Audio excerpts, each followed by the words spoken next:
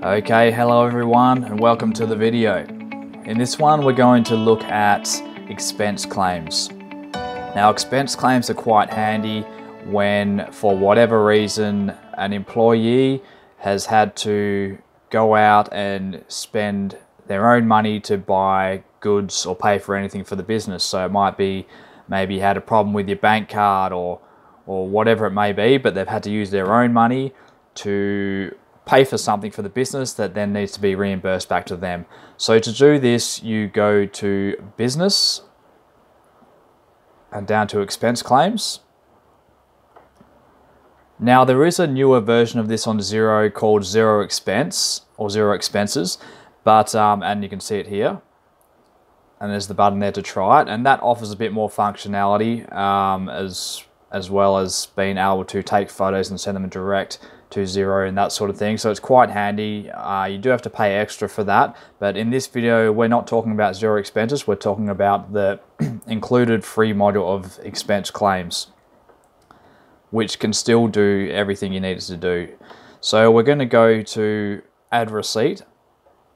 So the employee has gone out, they've spent their own money, and then they've provided you with a receipt. So we'll go add receipt.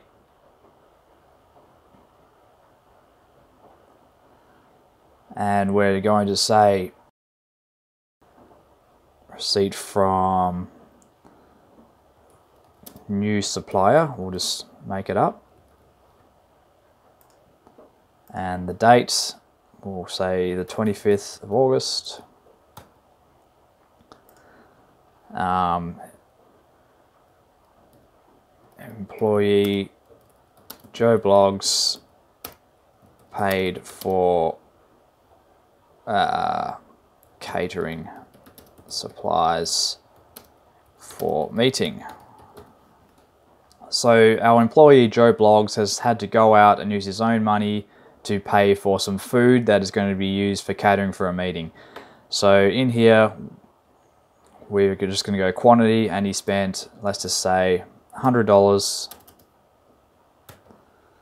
The account catering, GST on expenses, and we're going to save that. So we've got $100, 909 GST.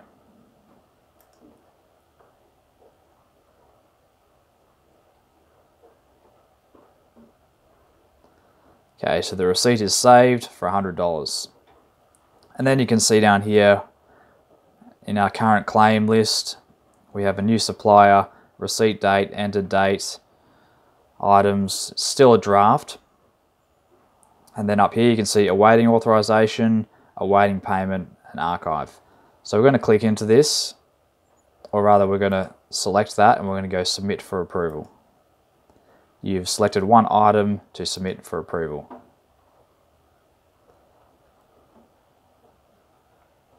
An expense claim with one receipt has been submitted for approval. So this then goes through to whoever has access to approve reimbursements. And we can see here waiting authorization one. So now the person who has the ability and the access to uh, uh, approve reimbursements can go in and have a look at it. Status is awaiting review all the details here. We can delete it, we can accept, and we can or approve, and we can also decline. So we're going to approve this because we're happy with it. We've seen the receipt, and it is what it is. If we click into it, there's also the opportunity here to attach the receipt. We can upload the file or we can add it from the library. You'd probably upload it if you have it on your computer. But anyway, we'll approve it.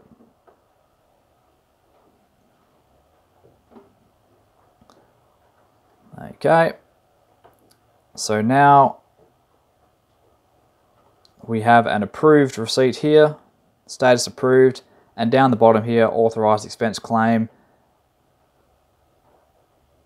Now that it has been approved, it can be authorized. So you can put a due date in here, but you don't have to. We're just going to put the receipt date in as the reporting date, 25th of August. And we're going to authorize that.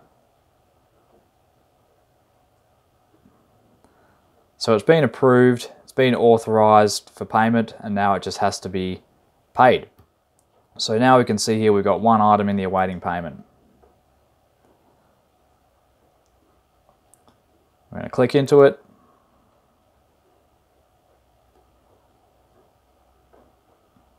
We can still view the details here if we click into the actual item, but we're all happy with it. We've seen it. We've attached the receipt. So now we're going to go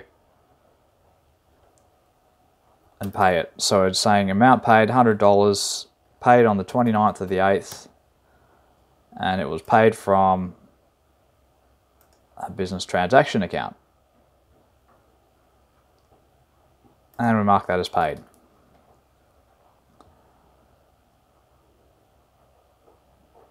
So now we can see there's nothing awaiting authorization, nothing awaiting payment. If we go previous claims,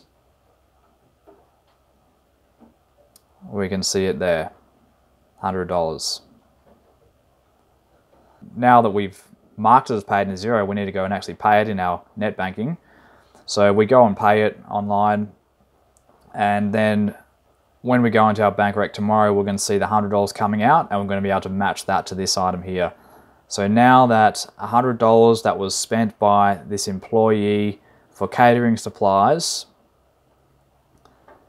with the employee's own money will now show up in the P&L for the business because the business has now reimbursed that employee and that expense is now a business expense. Now we'll go back to current claim.